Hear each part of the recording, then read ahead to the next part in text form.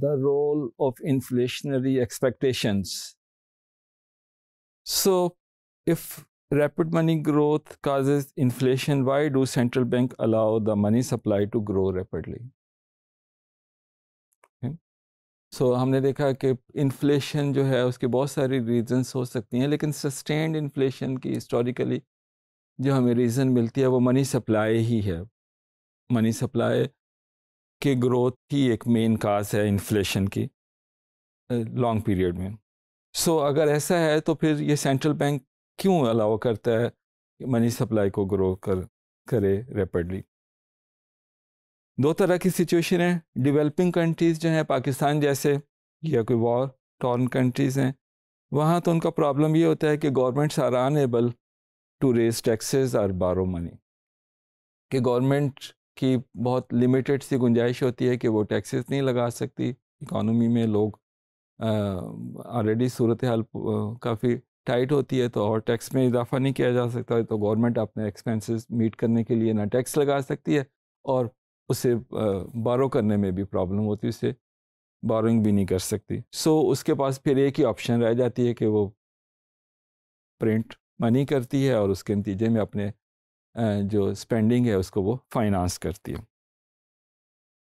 जो develop industrialise countries हैं, वहाँ ये इशू तो नहीं है, लेकिन वो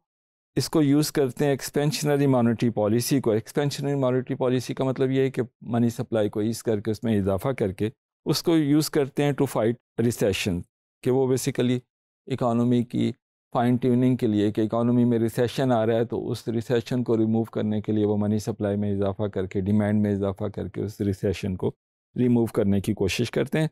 लेकिन then not tighten monetary policy enough later कि वो जब रिसेशन ख़त्म हो जाता है तो फिर उस एक्सेस मनी जो इकोनॉमी में थी, ठीक है, उसको फिर वो बहुत टाइमली उसका बंदोबस्त नहीं करते कि उसे किस तरह से निकालना है ताकि उसके नतीजे में फिर जब वो इकानमी में मौजूद है एक्सेस मनी तो वो इन्फ्लेशन काज करेगी। So disinflation is the reduction in the rate of inflation okay inflation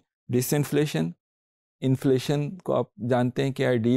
inflation का मतलब प्राइसेस में इजाफा डी इन्फ्लेशन का मतलब प्राइसेस में कमी और डिस इन्फ्लेशन की जो टर्म हम यूज़ कर रहे हैं, इससे मुराद क्या है? A reduction in the rate of inflation so it is different from deflation disinflation का मतलब कि इन्फ्लेशन है but reduction in the rate of inflation so disinflation में lead to recession An unexpected reduction in inflation leads to a rise in unemployment along the Phillips curve. ठीक है ये हम discuss कर चुके हैं कि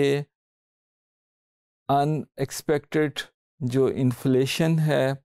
वो आपकी अनएम्प्लॉयमेंट को कम करता है सिक्लिकल अनएम्प्लॉयमेंट को। और इसी तरह अनएक्सपेक्टेड रिडक्शन इन इन्फ्लेशन जो है, ये अनएम्प्लॉयमेंट को इंक्रीज़ करेगा। So, the cost of this inflation could be reduced if expected inflation fell at the same time actual inflation fell. तो ये जो कॉस्ट है, यानी आप इन्फ्लेशन रेट को कम करना चाहते हैं, ठीक है? इसकी कॉस्ट क्या है कि अनएम्प्लॉयमेंट रेट बढ़ जाएगा। इसको कॉस्ट को कम किया जा सकता है अगर एक्सपेक्टेड इन्फ्लेशन भी कम हो जाए एक्चुअल इन्फ्लेशन के साथ। यानी लोग अपनी एक्सपेक्टेशंस भी रिवाइज कर लें और जो एक्चुअल इन्फ्लेशन है उसी के मुताबिक एक्सपेक्टेशन अगर क्विकली रिवाइज हो जाएँगे तो ये कॉस्ट कम हो जाएगी। सो so, अब इसमें क्लासिकल का पॉइंट ऑफ़ व्यू ये है कि classical prescription for disinflation is cold turkey कि इसका मतलब ये है कि a rapid and decisive reduction in money growth classical इस बात के फेवर में है कि जो इन्फ्लेशन में आप कमी करना चाहते हैं तो उसके लिए आप डिसाइसिव और रैपिड आप मनी ग्रोथ में कमी कर दें तो इसके नतीजे में आप इसको कम कर सकते हैं। इसकी उनके पास जस्टिफिकेशन क्या है? आप जानते हैं, क्लासिकल समझते हैं कि प्राइसेस जो हैं, वो बहुत क्विकली एडजस्ट कर जाती हैं और लोगों की एक्सपेक्टेशंस रैशनल होते हैं, वो अपनी एक्सपेक्टेशंस को बहुत क्विकली उसको रिवाइज़ कर लेंगे, वो सारी इन्फॉर्मेशन को यूज़ करेंगे तो इसलिए वो समझते हैं कि उसकी कॉस्ट जो है, वो कम होगी। So they argue that economy will adjust fairly quickly with low cost of adjustment if the policy is announced well in advance कि अगर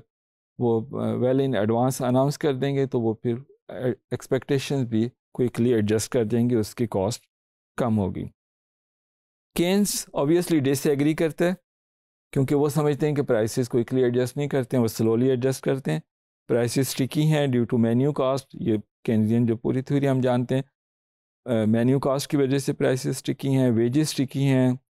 वेजेस भी बहुत स्लोली एडजस्ट होती हैं स्टिकी होती हैं due to the labour contracts तो इसलिए वो ये कहते हैं कि cold turkey in disinflation would cause a major recession कि इस जो रैपिड और डिसाइसिव उसको इन्फ्लेशन में कमी करने के लिए जो भी स्टेप लेंगे मॉनेटरी पॉली मनी सप्लाई में कमी करेंगे तो it will cause a major recession the strategy may fail to alter inflation expectation because if the cost of the policy are high, because the economy goes into recession, the government will reverse the policy. केंद्रीय कहते हैं कि ये strategy जो है कि जी आप एकदम उसमें कमी करें और इन्फ्लेशन में और मनी सप्लाई में। तो चूँकि इसकी कॉस्ट बहुत सिग्निफिकेंट है रिसेशन में इकॉनमी चली जाएगी अनएम्प्लॉयमेंट में इजाफा हो जाएगा और वो केन्स के मुताबिक वो नहीं समझता है कि जी ये बहुत शॉर्ट पीरियड के लिए होता है। वो कहता है ये बड़े लंबे अरसे तक अनएम्प्लॉयमेंट में इजाफा चलेगा। तो ज़ाहिर है, ये जब इतनी बड़ी कॉस्ट होगी इकानमी के लिए तो फिर गवर्नमेंट भी इसको रजिस्ट नहीं कर सकेगी। गवर्नमेंट भी इसको बर्दाश्त उस पर भी प्रेशर आएगा और फिर वो अपनी पॉलिसी को लोग एक्सपेक्ट करेंगे कि गवर्नमेंट इसको रजिस्ट नहीं कर पाएगी और गवर्नमेंट अपनी पॉलिसी को रिवाइज कर देगी, इसलिए लोगों की जो एक्सपेक्टेशंस हैं फिर वो वो चेंज नहीं होंगी। So a gradual approach gives prices and wages time to adjust to the disinflation तो केंस के मुताबिक ये ग्रेजुअल प्रोसेस होना चाहिए। Such a strategy will be politically sustainable because the cost are low तो जो अभी हमने बात की कि लंबे अरसे तक गवर्नमेंट अफोर्ड नहीं कर सकती कि इकानमी में रिसेशन रहे अनएम्प्लॉयमेंट रहे तो ये ग्रेजुअल प्रोसेस से अगर आप काम करेंगे तो उससे एक्सपेक्टेशन भी ग्रेजुअली एडजस्ट करती चली जाएँगी और इसकी कॉस्ट कम हो जाएगी। Thank you very much